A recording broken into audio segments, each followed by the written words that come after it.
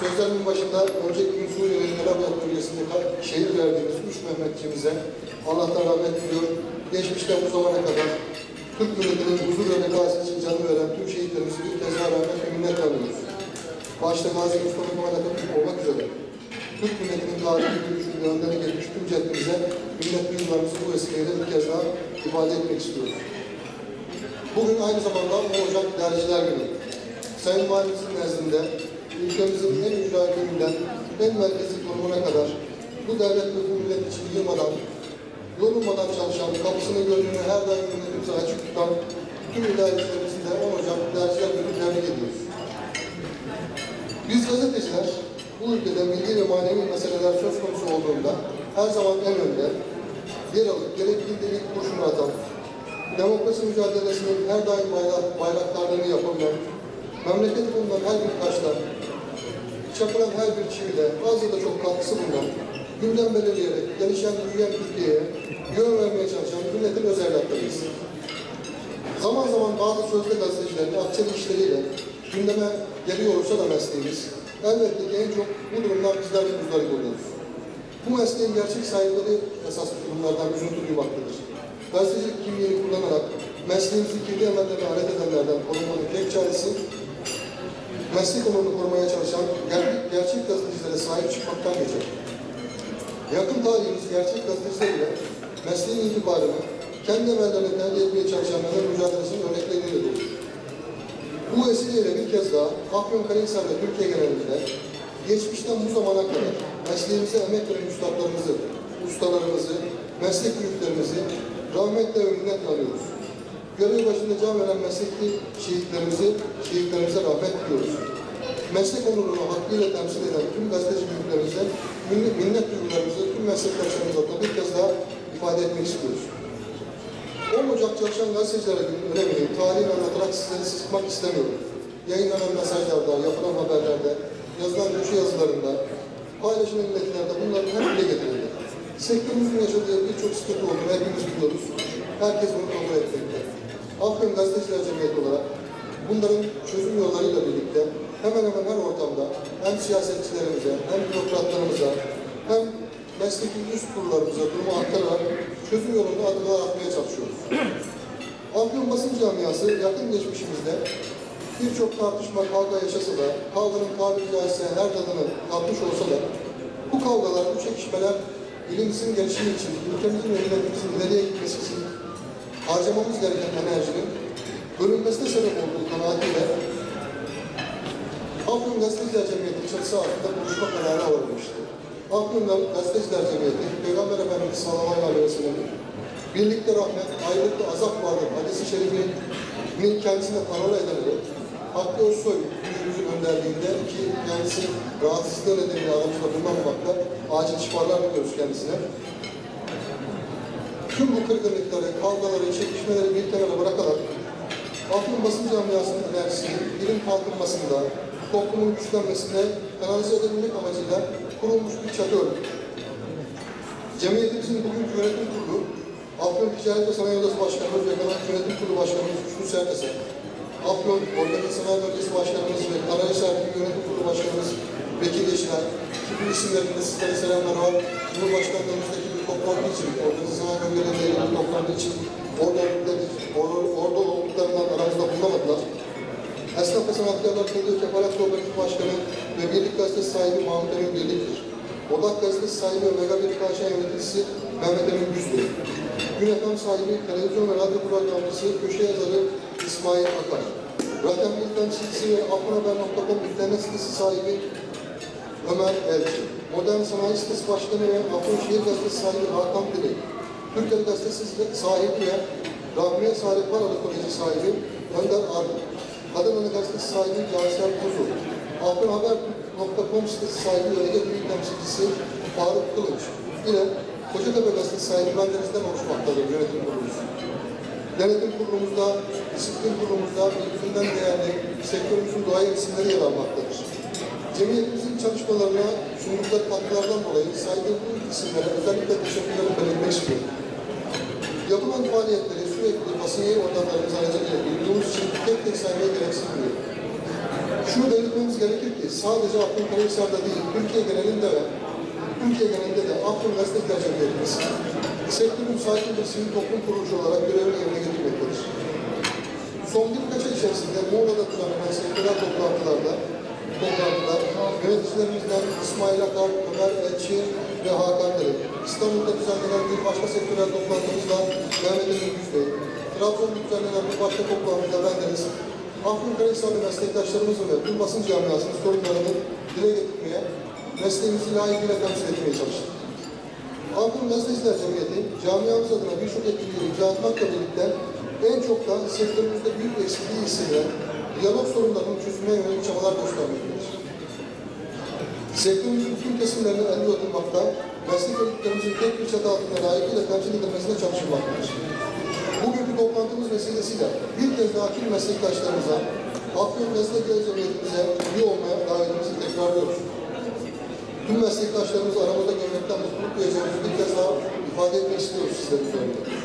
Afyon Gazeteciler Cemiyeti kimsenin malı, makam mevki ve ma- makamı ya da mevkisi sek değil, sektörün temsilinin hakkıyla yapılmaya çalışıldığı, önce gazetecilik mesleğine, sonrasında da Afyon ve ülkemize katkı sunma çabalarını buluştuğu bir sinerji merkezidir.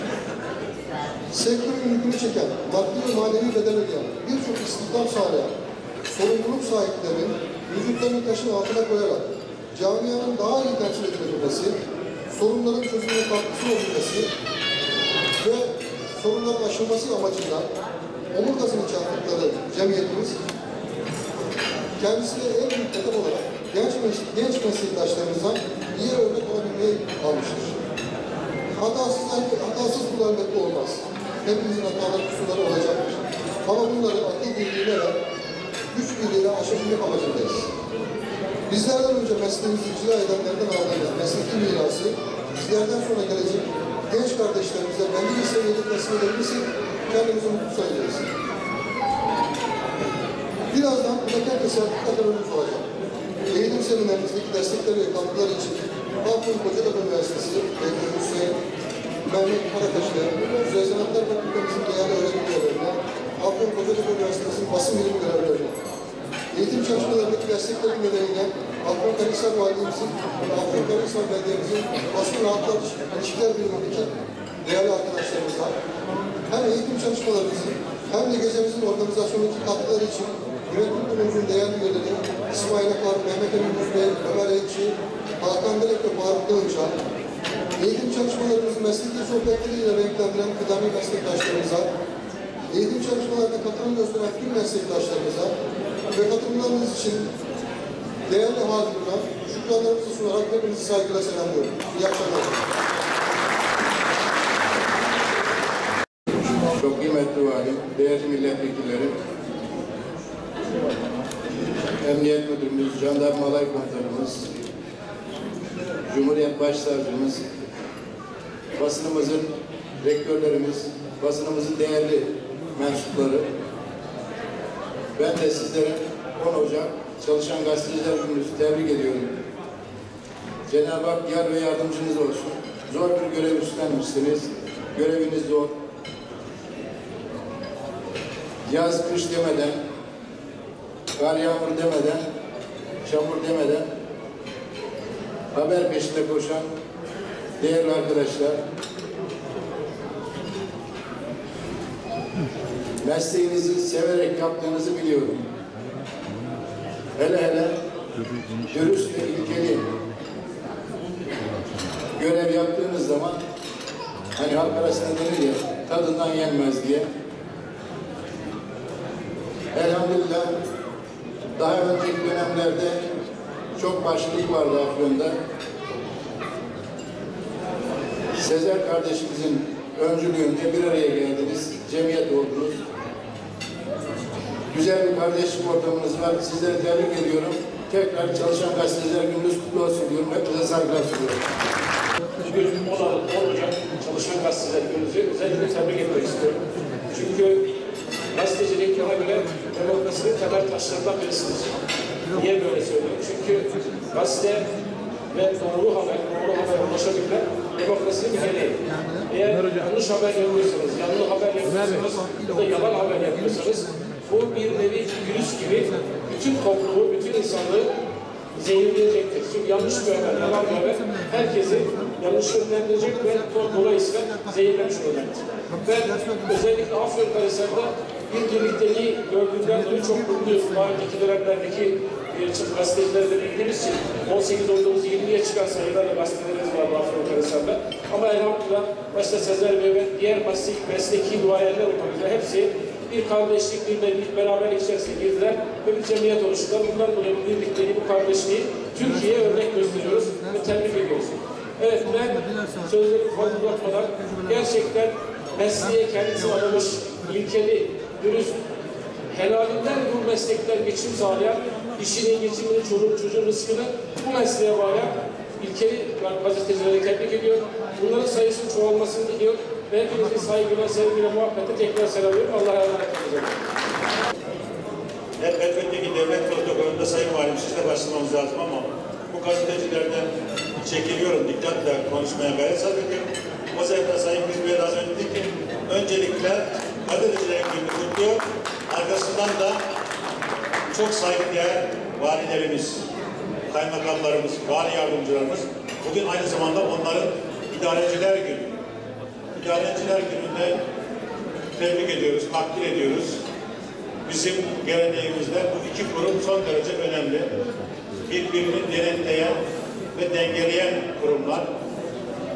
Bunlar demokrasinin güzelliği. Elbette ki iktidardakini eleştirecek gazeteciler. Bundan daha doğal, daha normal olan bir şey yok. İş yapan eleştirilecek. Bu da amenna, bunu da kabul ediyoruz. Ama hayatınızı hep negatife kurgularsanız kendinize zarar veriyorsunuz. Bu bireysel yaşantımızda da öyle. O sebeple yanlışa yanlış, iyi yapılana da, doğru yapılana da şu da doğru, bu da güzel denildiği zaman hakikaten daha faydalı, daha kıymetli oluyor. Az önce biz de konuşuyoruz masada. Türkiye'nin yaşadığı temel sorunlar gazetecilikle ilgili. Bunların hepsi aşılabilir işler. Türkiye çok büyük sıkıntılardan bugünlere geldi. Bugünden yarına da daha iyi noktalara gider. Gazeteci arkadaşlarımızın birden çok sorunu var. En çok da internet medyacıları, yazılı gazeteciler, internet medyasının mensupları bu konuda taleplerde bulunuyorlar. Bu hususlar görüşüldü, birden çok defa bizim de olduğumuz kanun çalışmalarında gündeme geldi. Ama gerçekten zor bir konu. Ee, kolayca herkesin memnun edebileceğiniz bir alan değil. İnşallah bu dönem bunları da düzenlemek hepimizin fikrimizi en geniş manada, en hür manada ileri sürebileceğimiz bir ortamı tesis etmek ama elbette ki kişi hak ve hürriyetlerini koruyarak insana saygıyı koruyarak yerine getirmek hepimizin müşterek görevi diyorum. Bizleri buraya davet ettiğiniz ve söz verdiğiniz için de teşekkür ediyorum. Hayırlı akşamlar diliyorum. Saygıdeğer Valim, çok muhterem hanımefendi, tabii burada milletvekillerimiz var, Afyonkarahisar'ımızın bürokratlar var ve neticede gazeteci kardeşlerim var. Ben de bir gazeteci men- mensup olarak Afyon Gazeteciler Cemiyeti'nin bir üyesi olarak konuşuyorum. Efendim gün, gününüz, gününüz kutlu olsun önce. Özellikle 10 Ocak Çalışan Ga- Gazeteciler Günü hayra, berekete, güzelliğe vesile olsun. Tabii bu arada özellikle valimizi ve kaymakamlarımızı da tebrik etmek lazım. Çünkü bugün aynı zamanda idareciler günü. Hakikaten ben Türkiye'nin her tarafında oluştuğum için kaymakamlarımızın, idarecilerimizin, vallerimizin gerçekten gece gündüz ne büyük bir gayretle çalıştıklarına şahidim. Dolayısıyla onların bütün idarecilerin günlerinde gönülden tebrik ediyorum. Hayırlı olsun, uğurlu olsun. Şimdi efendim evvela şunu ifade edeyim. Hakikaten Afyon'da gazeteciler cemiyetimiz birlik ve beraberliği sağladı. Çok güzel bir dayanışma var. Dolayısıyla ben bundan dolayı başta sizler kardeşim olmak üzere yönetimdeki ve bütün gazeteci kardeşlerimi yürekten selamlıyorum. İnşallah bu birlik ve beraberliğin devam etmesini gönülden temenni ediyoruz. Yani bana göre devam edecektir. Ee, biz de sizler de gurur duyuyoruz. Zaten e, gazetecinin vazifesi doğru haberi kısa zamanda ulaştırmaktır. Elbette tenkit edecek ama tenkit ederken bizim üç T prensibimiz var. Tenkit yanında tavsiye, varsa tekliflerde ortaya koyarlarsa çok daha güzel olur. Ee, yani Sayın Başkan dediği gibi bu takdirde tadından yenmez mi? Yani bizim memlekette. Ee, inşallah çok faydalı olur. Şimdi özellikle doğru haber çok önemli. Çünkü yanlış bir haberin düzeltilmesi mümkün olmuyor çoğu kere. Çünkü yalan haber çok hızlı yayılıyor. Ama doğru haber çok daha yavaş yayılıyor. Ben burada gazeteciler cemiyetimizi bir konuda da gönülden de tebrik ediyorum. Özellikle geçenlerde de ben de ders verme, daha doğrusu ders demeyeyim de hatıralarımı anlatma imkanı oldu. Bütün gazetecilere bir eğitim çalışması verdiler. Gerçekten bu çok önemliydi. Türkiye'de bana göre ilklerden birisi. Dolayısıyla başta Sezer Bey ve yönetim kurulunda bulunan bütün kardeşlerimi katılan gazetecileri gönülden tebrik ediyorum. Üniversiteyle birlikte güzel bir program gerçekleşti. Tabii bu doğru haberden bahsederken ben pek çok hatıramı orada anlattım. Burada zaman almak istemiyorum. Ee, sözün üstadı valimiz konuşacak. Yalnız e, tarihte gazetecilik daima önemli olmuştur. Az önce Sezer Bey Amasya'dayken söyledim. Unutmadığım bir hatırayı de anlatacağım dedim. Efendim, Devlet Ali Osman zamanında 1895 yılları yani bundan kaç yıl önce o zaman Malumat diye bir gazete çıkıyor. Başında da Baba Tahir var. Gazetenin sahibi Baba Tahir. İşte o zaman Terkos işletmesini Fransızlara vermişler. Fransızlar Terkos'u işletiyor. Orada buharlı pompalarla İstanbul'a su basıyor. Hatta İstanbul'un suyuna Terkos suyu denirler. Düne kadar ben eski genel müdürü oluncaya kadar adı suyu Terkos suyu. Ama şimdi değiştirdik ben. şimdi o zaman İSKİ'nin başındaki bir Fransız müdür ya tarihini çağırmış demiş ki ya bize güzel haberler yap. Sana demiş ki ayda bir akçe vereceğim. Neyse belli bir süre sonra o Fransız müdür gitmiş yeni bir müdür gelmiş. Müdür bakmış e, bütün e, dosyalara bakmış ki baba tarihi diye birisine her ay bir akçe maaş bağlamış. Ben onu bunu anlamam demiş ki bunu bir iptal edin. Neyse ertesi gün babak bir haber yapıyor. Diyor ki Aziz İstanbullular avcılar Terkos civarında bir domuzu avlarken domuz yaralandı, yaralı bir şekilde Terkos gölünde kayboldu diye bir haber çıkıyor. İstanbul'da kıyamet kopuyor. Fransız şirketinin önünde bulunduğu yeri basıyorlar. Tabii müdür diyor ki Allah aşkına bu baba tarihi çağırın diyor. Baba tarihi geliyor. Sana diyor bir şey vermeye devam edeceğiz diyor. Baba tarihi diyor ki işaret yap. İki iki diyor. Diyecekler. Bu da güzel bir hatıra. Tarihe geçen bir kayıt bu. Hakikaten internete girerseniz baba tarihi bunu da görmek mümkün. Ama bizim gazeteciler doğru haber yapar. Ben buna yürekleniyorum. Afyon'da böyle şantaj falan yok. Ee, Sayın e, Başsavcım, Afyonlular gerçekten gazetecilerimiz dost doğru haber yapar. E, dimdik bir şekilde ayakta kalır. Bakın geçmişte bu yemeklere dair genelde ya valilik ya belediye verirdi ama şimdi dedi ki bugünkü yemeği de özellikle cemiyetimiz verdi, gazeteciler cemiyeti. Ben teşekkür ediyorum. İnşallah başarılı çalışmaların devamını diliyoruz. Daha güzel günlere doğru yelken açalım. Büyük hedeflere doğru koşalım inşallah. Bu duygularla hepinizi yürekten selamlıyorum. Allah'ın rahmeti, bereketi üzerinize olsun efendim. Sağ olun, var olun. Hayırlı olsun.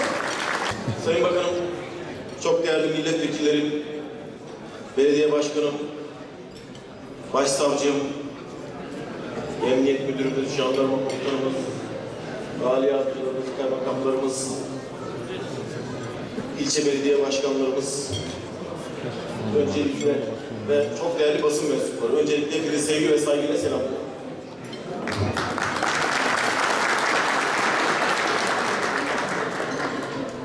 Sayın Bakanımızın dediği gibi ben de bir şey ilave ederek söyleyeceğim.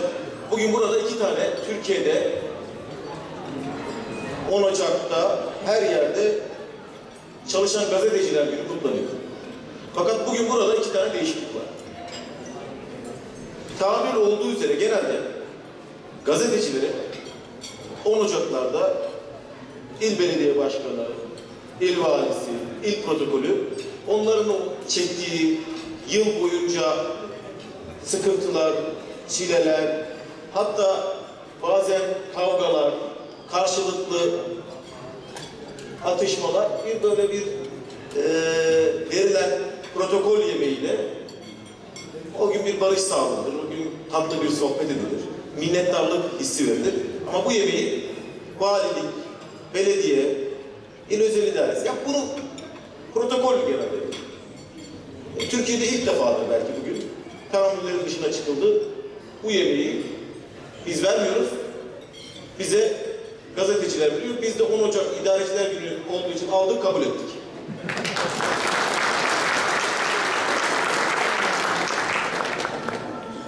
Ayrıca ikinci bir değişiklik şu burada. Genelde bu gazeteciler günü il içerisindeki gazeteciler ve il protokolüyle beraber kutlanır. İlçeler kendi ilçelerinde büyük ilçelerse yaparlar. Küçük ilçelerse böyle bir şeyde gerek duymazlar. Genel teamülü söylüyorum. İşte hayal ettiğimiz Afyonkarahisar aslında bugün Türkiye'deki kutlamaların farkı olarak tüm ilçe kaymakamları, ilçe belediye başkanları, ilçe gazetecileri yani komple bir bütün olarak Afyonkarahisar'ın bu odada olması. Bu salonda olması. Ben özellikle bundan dolayı da ayrıca mutluyum. Çünkü geldiğimiz günden beri en azından eee, sürekli Afyonkarahisar'ın birlik, bütünlüğü, ilçeleriyle tek yürek olmasından bahsediyoruz. Bugün Dinar'dan iki saatlik mesafeden, bir buçuk saatlik Nihat Başkanım. Nerede? Selam. Ne kadar zamana geldi? Ne kadar zamana Dinar'dan geldi? Ya salla iki saatte de bir an. İki saat gibi bir mesafeden gelen kaymakamımız, belediye başkanımız. Yani bütün ilçeler burada protokolleriyle beraber. Bu da beni ayrıca mutlu ediyor. Teşekkür ediyorum. Ben Afyonkarahisar'a atandığım gün ilk yukarıda konuşma yaparken şöyle söylemiştim. Demiştim ki basını güçlü bir vilayete geldim. Çünkü basınının gücünü dışarıdan da biliyordum, kısmen de korkuyordum.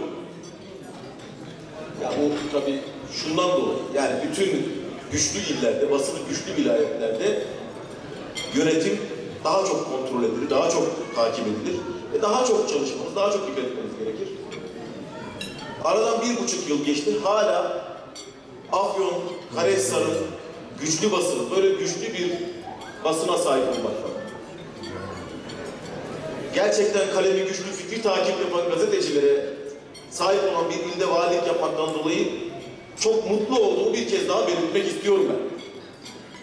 Özellikle Afyonkarahisar'da şunu görüyorum. Her yeni yıl başlangıcında bunu fark ediyorum. İnanılmaz bir fikri takip var. Şöyle söylemiştiniz, bu ne oldu? Böyle kırmayarak söylüyorlar ama ben anlıyorum, biz anlıyoruz onu. Gerçekten bundan dolayı da çok teşekkür ediyorum. Bir yıl çok dolu dolu geçti hepimiz için. Afyonkarahisar tüm basında her yerde gündemde. Sizin yaptığınız Afyonkarahisar haberleri her yerde yankılandı.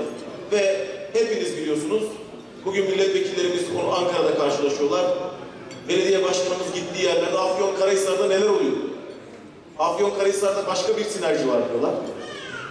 İşte sizlerin bu birlik, beraberlik dolu yaptığınız haberler gerçekten bize çok farklı bir enerji olarak geliyor. İşte bugün de gelirken aldığımız bir müjde Teknofest'in en önemli yarışması olan İHA yarışmalarının Afyonkarahisar'da Ağustos ayı içerisinde yapılacak olması.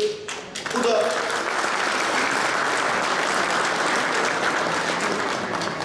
sadece Karadeniz dışında Afyonkarahisar'da bir ilde yapılacak olması bizi çok mutlu etti. Zafer'in 100. yılında Afyonkarahisar'a yakışırdı. Ben konuşmama, cümlelerime son verirken meslektaşlarım var, kaymakamlarımız var. Onları unutmadan onların da idareciler gününü kutluyorum.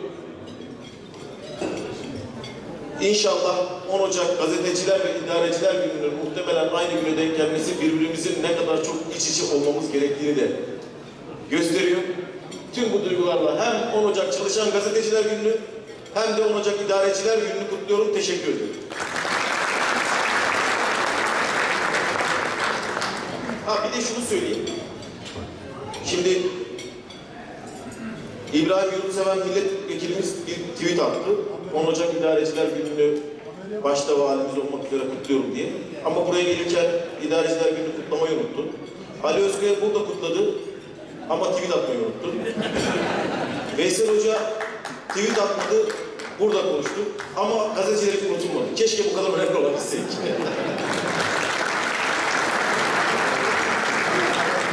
Evet, şimdi plaket törenine geçiyoruz. Sayın Valimizi sahneden göndermiyoruz. Afyonkarahisar Valiliği, Afyonkarahisar Belediyesi, Afyon Kocatepe Üniversitesi Rektörlüğü, Güzel Sanatlar Fakültesi ve Afyon Gazeteciler Cemiyeti tarafından düzenlenen yerel medya mevcutları eğitim seminerine katılarak verdikleri bilgilerle basın camiasına katkı sunan mesleğimizin tecrübeli isimlerine teşekkür plaketlerini vermelerini Sayın Valimizden istirham ediyoruz. Plaket alacakları hemen takdim etmek istiyorum. Profesör Doktor Veysel Eroğlu'nu kürsüye davet ediyorum. Abi yaklaşalım mı oraya? Orayı ben boşaldım şimdi. Sen şuna. Onunla ilgili tecrübelerini aktardı. Bu hareket ondan dolayı yaptı. İsmail Akar'ı kürsüye davet ediyorum.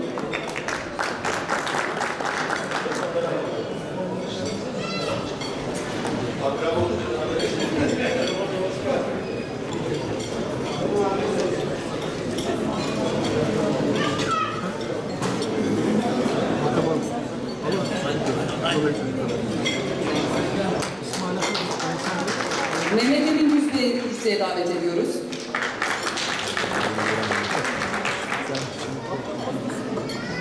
Daha iyi aslında bir arkadaşlar. Çok şu sıra yakın yapın. Sosyal medyayı, internet güzel kullanıyor. Biliyorum zaten. Burada kendisi de ben şey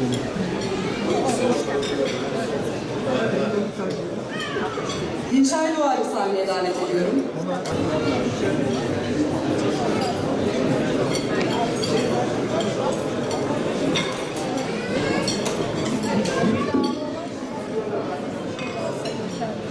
Şöyle yazayım. İçeride. Birlikte bir sıra yeni bir Arif Yar kürsüye davet ediyorum. Yanına var. Bir dakika bekle.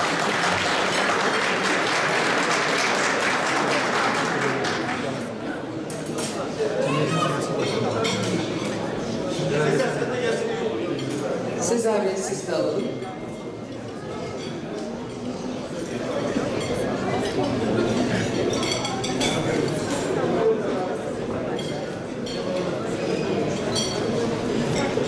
Polat Yılmaz'ı kürsüye davet ediyorum. Sait Karaduman'ı kürsüye davet ediyorum.